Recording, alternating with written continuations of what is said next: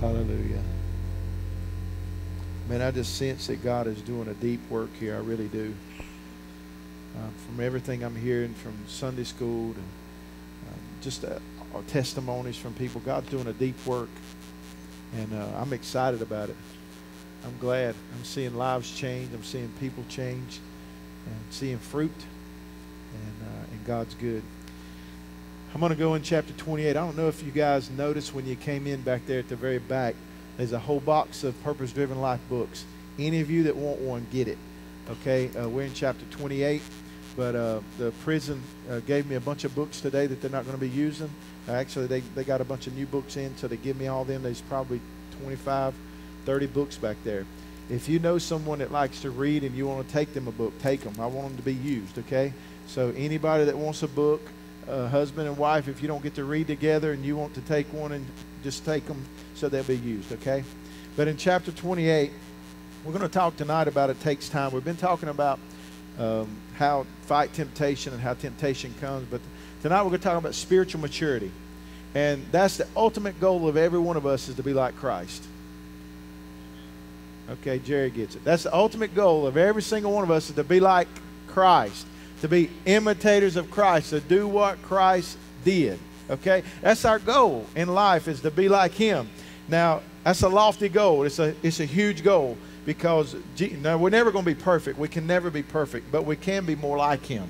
Okay? We can take on his characteristics. And tonight we're going to talk about that, but we're going to talk about it in a little bit different way. Um, it does take time to become spiritually mature.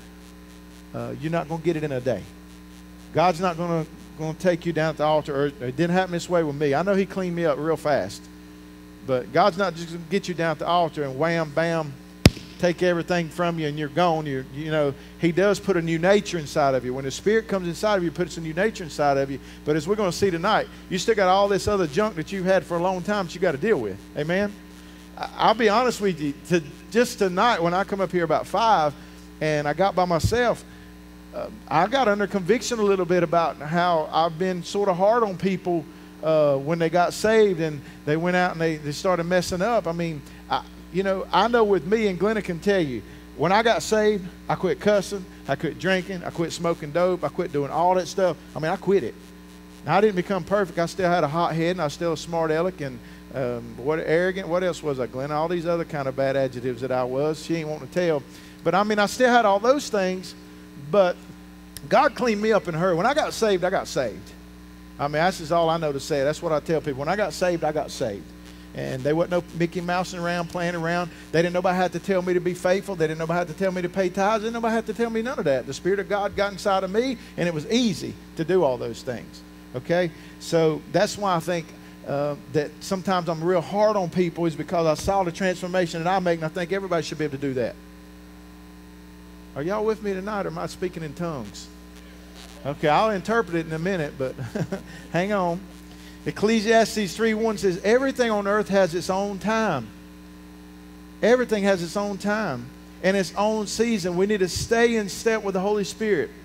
See, if everything has its own time, if we get ahead of its time, we're wrong. If we get behind its time, it's wrong. So it's imperative, it's very important that we stay in step with the Holy Spirit and we don't get ahead of Him and we don't get behind Him because everything has a time, then we need to flow with that time. Amen? Okay, Philippians 1 6. I love this verse. It says, I am sure. Paul says, I am sure that God, who began the good work within you, will keep right on helping you grow in His grace until His task within you is finally finished on that day when Jesus Christ returns. I've told you this, and I'm going to tell you a hundred more times before, maybe a couple thousand, as long as the Lord lets me stay here. We have not arrived. God is still working on every one of us. I know He's still working on me. He's still working on us. We hadn't arrived, but the promise is that He will not stop. But this is the problem people stop. They get frustrated. We're going, we're going to talk about a bunch of good stuff tonight, but I want you to notice don't give up. If you're in here tonight, you may have been a Christian your whole life and you've been frustrated and getting discouraged. Do not give up. Everybody say this I will not give up in Jesus' name. Keep fighting. Don't give up. None of us are complete, but we're being completed. None of us are complete, but we're being completed. We're going from glory to glory. There are no shortcuts to spiritual maturity. I've seen people that's gotten saved, and within a, a little while, they're teaching Sunday school classes. They're, spirit, they're, they're, they're growing spiritually, but they still have to go through certain processes. So there's a process to spiritual maturity. Now, I believe that you can get there faster the more you pray, the more you study, the more you read. Amen? But for most of us, if you're like me, I had to go to the school of hard knocks. I learned from not Harvard, but Hardvard. H A R D. Hardvard. I didn't go to Harvard. I went to Hardvard, the school of hard knocks. There's no, that's, that's just like, you know, uh, when I started trying to lose weight, and I'm still trying to lose weight, but when I started losing weight and I started seeing a difference, then I got excited. When people go and they start working out, y'all seen it before, especially those of y'all that go to the gym all the time and you're faithful, like my wife. I'm not faithful, but she's very faithful. She goes three times a week, sometimes four she can and the rail trail. She's very faithful in what she's doing, and you can tell in her body that she's faithful. But most people go a couple times and they don't see, they ain't all blowed up and puffed up, and they ain't got muscles like me. You know what I'm saying? And they get frustrated and they quit. And it's the same way spiritually people will start growing a little bit, but they don't grow as fast as they think they should. And so the next thing you know, they just fall out and quit. Well, I ain't got it, or I ain't good enough, or this person's doing better than me. And that's not the way we're supposed to be. Every one of us are on a different spiritual level, but don't stay there. Don't get comfortable there. Okay? You got to keep growing, but it's not going to take. I mean, it's going to take some time. I believe that you can grow faster. I believe an example that they give uh, uh, in the book was about the tomatoes tomatoes, tomatoes, maters. But, but he gave a good illustration about that. He said that when they go to ship tomatoes, they can't ship them right because they do, they'll bruise. So what they do is they pick them green, ship them, they, they spray them with CO2, and it causes them to turn green. Y'all looking at your book now, ain't you? Y'all should have done read it. But they spray it, and it become, and it turns it red, but uh, y'all know that store bought tomatoes taste like leather. They're hydro thick because they hadn't ripened, they hadn't matured. You take one like John Milburn gives you, where that rascal at? John Milburn gives you good tomatoes, man. You cut them things and they juicy. They're ripe because they matured on the vine. Same way with a Christian. A lot of Christians come in, they think they're supposed to blow up and do everything in the church, and they haven't matured, they hadn't ripened yet. And so what happens? When you throw them into a position, it ain't good. They ain't ripe. They're not seasoned. They're not uh, juiced in the word. They're not, they're not, they don't know what to do. Amen? And it don't work. The same way with those tomatoes, there's a huge difference. Amen? Y'all with me? Listen, sometimes we try to grow, or people try to grow too fast. You know, they get ahead of God. And, and, and, and I, I, I challenge people to get hungry. But, but I can give you, for instance, there's a guy in the prison right now that he has gotten aligned with this guy that's come in. This guy broke fellowship with all the Christians at the camp. He thinks he's got some kind of word from God and that he's different. He's got this new book. I don't even know what the name of the book is. I'd like to burn it if I could get my hands on it. But it's telling him about the third eye and how he can focus on things. And that's how you become to being able to heal people and stuff. Man, the way I read, you pray and fast, that's how people get healed. So, anyway, but I sat down for about an hour and a half because I love this guy. And I said, Look, man, you need to think about what you're doing. You're getting all this knowledge and all this knowledge. And he's studying four and five hours a day in the library. But if what you're studying ain't good, then you're just studying a bunch of junk. So you got to make sure that when you're studying, that you're studying the right stuff. Ephesians 4. I want to go to the to the um, King James and read this. Ephesians 4:13. It says this. It says, till we all, listen, he don't leave anybody out. So don't think that you are not supposed to be spiritually mature. He said, until we all come into the unity of the faith and of the knowledge. That's what God's been speaking to us is knowledge. To the unity of the faith and the knowledge of the Son of God unto a perfect man. Mature.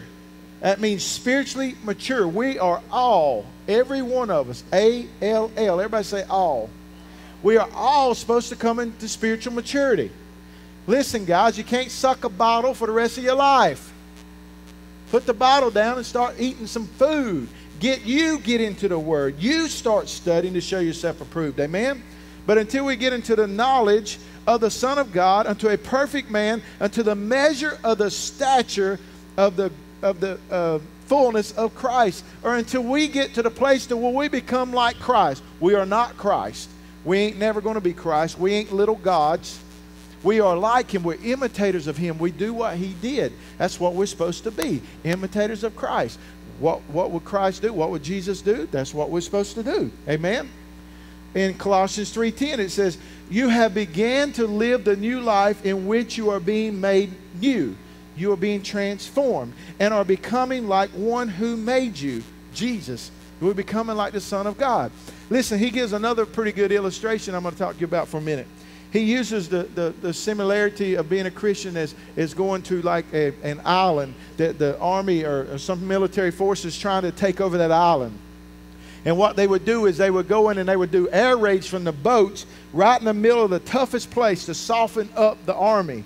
They would soften them up. And once they got them soft, then they would go into a certain place that they knew they could take, and it was called a beachhead. And they would go in and they would take over. And then little by little by little, they begin to take the island over. And they would eventually take, take authority of the island. And that's exactly, he said, that's exactly what Christ does to us.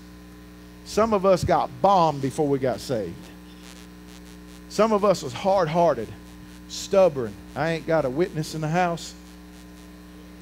Some of us were stubborn. Some of you, some of you, you get. I, I feel like I gave in pretty fast. You know, I done a lot of bad things, but I felt when the Lord really started convicting me, man, I, I, I surrendered. You know, I surrendered at a young age. 18 is pretty young, ain't it? And I did a lot of stupid stuff before then. But, but it's like God has to take some people and just get them into awful situations, dire situations, tragic situations before they'll soften up a little bit. People are hard hearted today, man.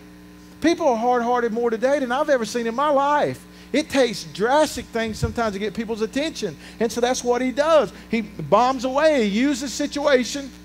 He uses situations. He lets the devil come in and do things, and he allows things to happen so we soften up. So then when we get soft, we, hey, you ask Jesus into your heart, and he establishes that beachhead. And then when he comes in and establishes that beachhead, then guess what? He starts taking ground little by little by little. Some of you, it's a fast work. Some people, hallelujah, it takes a little while. You know, and I'll be honest, the, the, sometimes the more hard headed you are, the longer it takes. You go around that tree over and over and over. Y'all know what I'm talking about, right? I ain't talking to them. Y'all, I need to do this on Sunday. I know. Jerry and I was talking about this today. Today we live in a world we want everything fast. We want our cars fast, our motorcycles fast. We want our food fast. We want a fast sermon. Y'all don't, but most churches they want fast sermon. If you ain't out by 12 o'clock, boy, they're gonna start fussing. Boy, I got the first time to see somebody do this. They used to tell me they would do this to their preacher. Man, somebody does that to me, I'm gonna drop kick them into heaven you won't have no watch very long. I'll take that thing off your arm and throw it up against the wall. That'd be crazy. They, they said they used to do this to their preacher. I'm like, man, you ever come to my church and do that? Somebody slap you. Anyway, I don't know where that come from. But sometimes things just take time. You know what? I mean, it just takes time to to, to mature us, to grow us. He's got to let us go through things. And, and, you know, we didn't get in our mess in a day. And most time we ain't gonna get out of our mess in a day. I mean, it, it's, a, it's, it's a process, it's a growth process. God knows how much to give us. We're going to talk about that in a minute. But He knows how much we can handle. He knows how much to give us. He's not going to put more on us than we can handle. And so He grows us continuously. But when we stop growing is when we mess up, or when we go backwards is when we mess up. Don't stop growing because you don't think you're growing fast enough. Where are you going to be if you stop? Amen? Maturity is a process. We don't need to take the microwave mentality. Everybody wants the microwave mentality. Give it to me fast. He, he, he was talking about how people go into a counselor. 20 years of a jacked up marriage. I mean, messed up. He didn't say this, I'm saying it. 20 years of a jacked up marriage, everything going wrong. You've let it go to pot, and then all of a sudden you want to go and say, I got an ire, fix me. I've had people come in my office think I can fix 10 years of jacked up mess in an hour. And I think I can too. And you know what? If they listen to me, I can. But most of the time, they really don't want to hear what you got to say. They really want to tell you what they want you to say, and that don't work with me. So normally it don't last really long. I, I end up making them mad, or something happens, and they, you know, we just sort of part ways. Or I send them to Mr. Jerry Campbell. He's a good listener. Jerry listened to him, and where I, I I ain't got time for it. You, you, if I'm trying to tell you something, if I'm trying to give you some godly advice and you cut me off and you start running your mouth, I'm going I'm to get you out of as fast as I can because I know you don't want to listen. And so you're just going to have to go get bombed a couple more times and then you come back when you soften up. Is that mean? No, it ain't mean. I've learned. Hard heads make soft bottoms. Sometimes you just got to let them get bombed. Let God keep bombing them. And then finally they say, okay, I'll surrender, like we sung Sunday. I'll surrender. And when you surrender, then you're good, right? Okay, anyway. 2 Corinthians chapter 3:18 says this. Our lives gradually, everybody say gradually. Our lives gradually becoming brighter and more beautiful as God enters our lives and we become more like Him. Our lives gradually grow. You can see it gradual. Sometimes there's a, a huge spiritual growth automatically, and then all of a sudden you start uh, you know, you start phasing off a little bit or you, you slow down a little bit and then all of a sudden dramatically you'll, you'll grow again. You know what I'm saying? Y'all, some of you have been there. That's, that's the way it is. Why does it take so long? I'm going to give you five things to talk about why it takes so long. In Deuteronomy 7:22 it says, God only allowed the children of Israel to gain the promised land little by little. He said, I'm going to let you go into the promised land, but I'm not going to give it all to you at one time. He could have. He, drove, he, he had hornets to go in and drive the people out, but he did it little by little. And I didn't really get a chance. I meant to study this out, but I just now thought about it. But he, he said if he give them the land all at one time, that the beast would come in and destroy them. So the only thing that I talked to Jerry about, the only thing I can figure out is that if everybody was gone, then the beasts would multiply, the, the wild animals or whatever would multiply, and there would just be a few, the, the few that got to go across to the promised land, and they wouldn't get to to, you know, uh, have babies and have more people and all this stuff to go and take care of it. I don't know. Y'all search it out. I'm going to search it out when I get, get a chance. But I don't understand that scripture. But he said if he'd have given it all to them at one time, they would have never been able to make it. And that's the way it is with us. If we get it all at one time, we ain't going to be able to make it. Some of you have been a Christian for a long time and you are still struggling with one thing now, I know everybody has a, a bin of iniquity, everybody has something, but I'm talking about some of you, God has been dealing with you and dealing with you and dealing with you, and you're so hard headed, you won't give it up. Because why? When you give stuff up, it hurts, it's painful. And God's saying, Give it up. Stop. I've got something better for you. And you're still not doing it. So we look at the children of Israel and think there's a bunch of idiots. Do you know, every time I read this, the, about children of Israel, and Exodus and stuff, I think they they were a bunch of dingbats, man.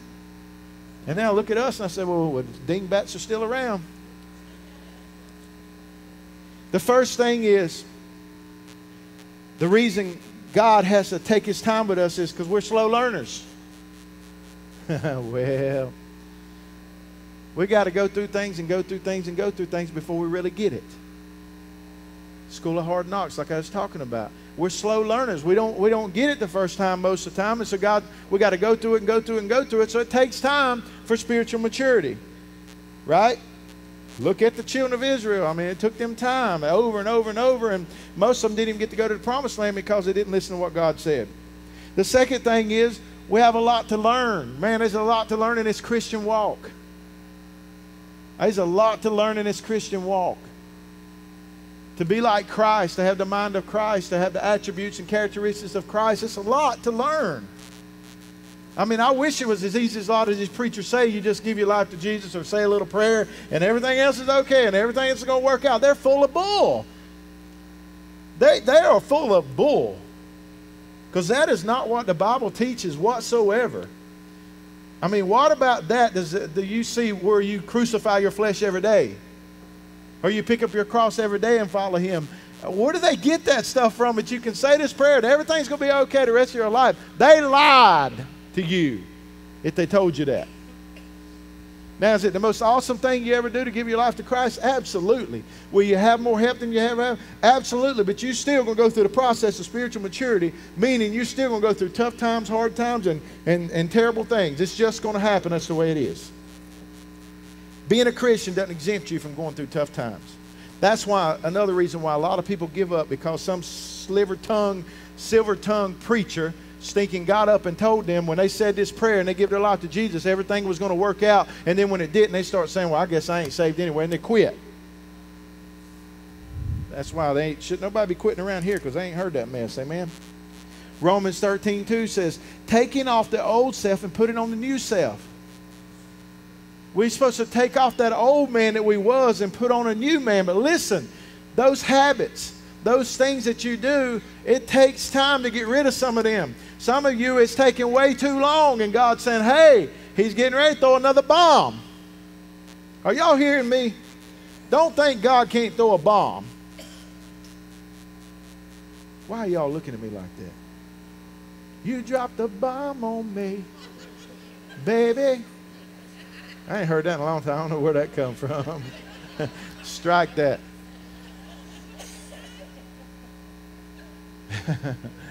God will drop a bomb on you. He will. He's not playing. See, He loves you too much to leave you there. We talked about it. He loves you too much to leave you the way you are. So if you keep doing what He's telling you not to do, He's getting ready to smack you upside your head. He's going to give you one of my mama's judo chops upside your head or claws, Freddy Krueger. I still got scars. Does God want to do that? Did my mama want to do that? No. Does God want to do that? No, but He's going to do it if you keep going on. I don't know who this is for. But you better get it. Because you're going to be calling me in a couple days. God just dropped a bomb on me. I'm going to say, I told you. I mean, it, it is what it is. Amen. See, when we get saved, we get the Holy Spirit, but we don't get everything dumped out of us. It takes time. The third thing is we're afraid to be humble and face the truth about ourselves. I can honestly say this that I don't, I, mean, one of my personality traits, all of us have different ones, there's four different personalities, but one of my personality traits is being brutally honest and that's with myself too. And so I, I didn't have those problems. I, I mean, I, I, I told too much probably. You know, I was too open and too whatever. You know, I, I, I knew I was a miserable piece of you know what, and that I needed saved. I mean, I knew that. Some people think that they're, they're so afraid to let somebody know that they've made a mistake. They're so afraid to let somebody know that they committed this sin or they committed this sin or that they wasn't perfect as a child Man, I'm glad I didn't ever have to live up to that. Because that'd be a terrible thing to live up to. Amen. I think it's time for a lot of people to just get spiritually naked before the Lord. He already knows you. He knows you upside one and down the other. And these things that you're struggling with, totally give them to Him and quit trying to hide them. You can hide them for us. You can come in here every Sunday morning, Wednesday night. You can hide them for us, but there's a payday coming. Dylan, where's Dylan at? Dylan, that thing you put on Facebook today was stinking awesome. Stand up and tell them what you put on Facebook. You got it. You got it in your heart, don't you? I hope you do. Oh, he's looking for his phone. Look at him. Stand up and read that to everybody. Well, you want me to tell him? I can, I can give him the gist of it. Maybe. What he was talking about is he said, you know, if you had the choice today to choose a bag of diamonds or some cold water in this room, every single person in this room would choose those diamonds. You'd be stupid not to. But if you was out in the Sahara Desert and you were your tongue's dried up, you, you, you'd have no saliva, you're about to thirst to death, and somebody says, Hey, bro, I'll give you a bag of diamonds and you want this big old mug of water. You're going to say, I want the water. And you'd be stupid not to. And the gist of it was there's people today, we're trying to give them a bag of diamonds. We're trying to give them Jesus, the pearl of great price. We're trying to give them the greatest thing they could ever have. But right now, they're wanting the water. I mean, no, they're wanting the diamonds of sin, and the water is Jesus. I got it backwards. They're wanting, they're wanting the riches of this world instead of Jesus, the cool water, the Spirit. But Now, today, that's what they say. But when we stand before God on Judgment Day, you ask them, Do you want this uh, sin lifestyle, all this diamond lifestyle, this rich lifestyle? Do you want Jesus? And I promise you on the day of judgment, there ain't one soul's not going to say, I want Jesus. And it was talking about comparisons. Where are you at? What kind of choice would you make? And you better make a choice for Jesus. Amen. Was that pretty good? Is that pretty? Okay, good deal. See, you didn't think I was paying attention, did you? We got to admit that we're weak without Him. That's one thing Shelly taught me a long time ago. I am absolutely nothing. All my talents and abilities that God's given me, they are nothing without Him. And until we get to that place, we're not going to be anything. Number four, growth is often painful and scary. Spiritual growth is painful because God starts taking stuff that we're comfortable with. He talked about an old pair of shoes. An old pair of shoes is comfortable. They may not look good, but they're comfortable. And that's where our old lifestyle is. Some of you, when you got saved, you drank, you cussed, and you did things like that, and it was comfortable to you because that was your lifestyle. And then all of a sudden, the Holy Spirit starts dealing with you, and He starts saying, Wait a minute. That's not my character. That's not what I do. You're not imitating me when you do those things. And you start saying, Oh, no. I got to get, you don't realize how much of a crutch they were until you got to get rid of them. Or that person that you're hanging around, they're your friend. You think they're your friend, but when you get saved, you really start doing right with the Lord, all of a sudden the Lord says, hey, you know, right, this person ain't the best person for you right now. This person drags you down. This person takes my name in vain. This person tells dirty jokes. This person makes you think about things you shouldn't think about. This person takes you places you shouldn't go, so you don't need this person no more. And all of a sudden you're like, dang, man, that's been my friend since childhood. Or maybe it's a mama or a dad that's dragging you down. I mean, I don't know who, I don't know what your what your stuff is, but I'm telling you, it's painful. You can ask, you, I mean, I keep saying, but you can ask Glenna, when, we, when I got saved, I had to pull away from all of my friends. Not that all of them was bad, but together with me, they were bad. We wasn't, we wasn't, we didn't mesh good. We did things we shouldn't do. So, you know, Glenna helped me a ton, but the Holy Spirit just, we just pulled away from everybody. We had to. Now, later on, Got one here, one of my best friends in school, Gary. He's back, man. He's back. Praise God. But I'm, what I'm saying is, God will give you that stuff back. You just got to sometimes let things go. Amen? Places you go. Maybe it's people that you go see that you don't need to be around no more. Number five, habits take time to develop, so habits are going to take time uh, to go away. Habits define your character. Your habits define your character. If your, your, if your habits are not pleasing to God, then your character is not pleasing to God. Your character is what you are when nobody else is around. If you have to sneak and do things, or if you feel, oh boy, I'm going to step on some toes right here. Y'all ready? If you're embarrassed to do things in front of people in the church, because of what they'll think of you, maybe you need to quit. Maybe that's the Holy Spirit saying, Look, you're embarrassed with them. I see you all the time. I'm hanging out with you. I'm supposed to be in you. Some of y'all have heard this testimony before about my brother, and I'm not getting on anybody, so don't nobody say I'm getting on anybody, but this is just what's coming to my, my heart right now. My brother was a chain smoker, pot, and cigarettes. He smoked more pot than anybody I ever seen in my life. He would roll up a whole nickel bag back when a nickel bag and a dime bag was big bags. They ain't now. They say. well, I watch cops. back when they used, woo, got caught, didn't I? No, I ain't touched a joint in 31 years. I've smelled a bunch of them. And Dennis is here. That's right. Dennis, Dennis is my school buddy. But uh, can I tell that what happened that time? Do you care just to be funny? You don't care? this is before Christ. Valerie, Valerie, don't you slap him. Me and Dennis, me and uh, Keith went deer hunting one day, And we was coming out of the woods, and uh, there was a vehicle up there. I don't even know whose it was. Was Rogers or, or, or Dennis. I used to be real good friends with Roger Hill. And uh, Dennis and him was hanging out together. And I go walking up through there, and the windows is up. And it's bow season. It's a little warm out, you know. So they rolled the window down, and boy, that whoom. I was going to tell you, I've smelled it.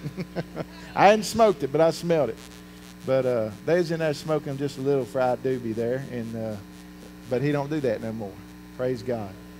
But I, I cried when I left, though. I told Dennis this the other day. We just talked about this the other day. I cried when I left because I love him. And I knew, and I love Roger, and I knew that the devil was trying to destroy him. And praise God, he listened to the Lord. and Now he's come back to the Lord and he's got all that stuff out. He's got a good wife that keeps him straight like me. So, anyway, that's a free story. I don't even remember where I was going now. Huh? Oh, yeah, yeah, yeah, yeah, yeah. I believe, I believe I better get off of smoking pot.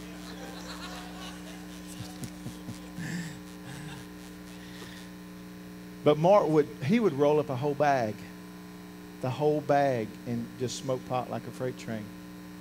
But when the Lord called Glenn and I to go to Tennessee, uh, my main concern was that Mark and David would get saved.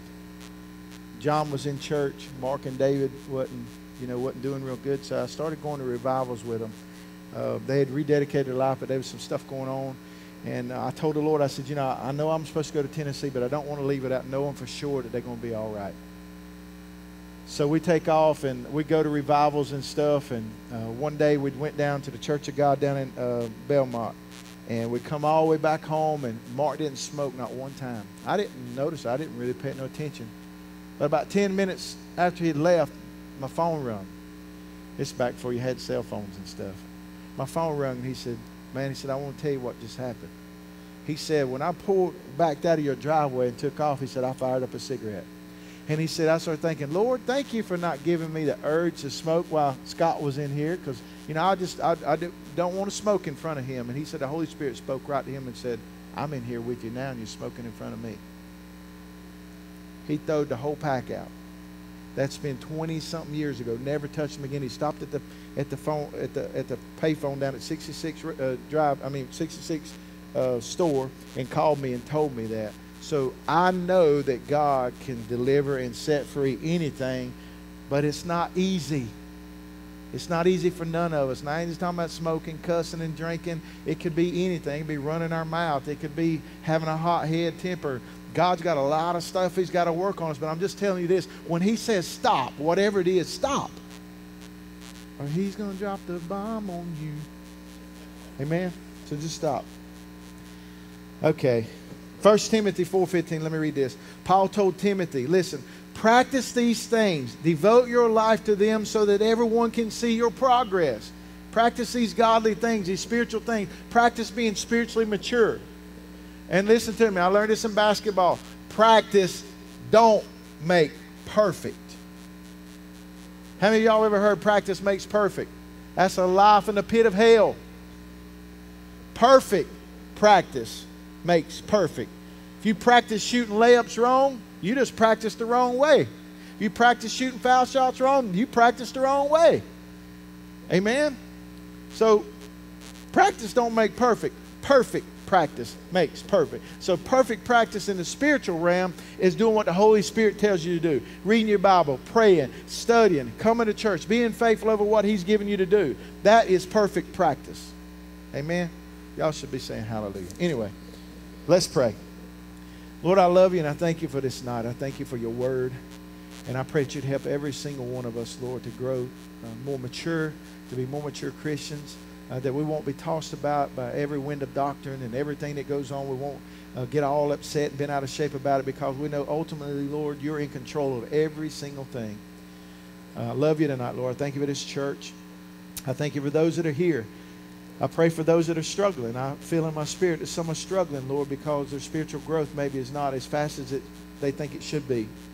But Lord, sometimes our spiritual growth is stunted, stunt or, or, or stopped because we are not doing what you've called us to do. And if there's things that you're telling us to stop or things that you're telling us to do, may we do those things or stop those things, God, so that our spiritual growth will not be stunted anymore, Lord, but it will grow.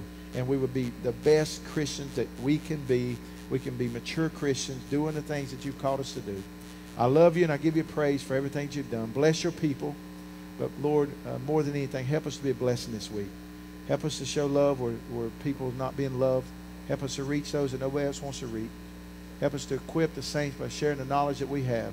And Lord, let us be found faithful when you come back in Jesus' precious name. And everybody said, Amen. Love you guys. God bless you. And I will see you Sunday morning. Don't forget Sunday school. If you know anybody that wants to, to be in the new members class or get baptized, please let us know. God bless you.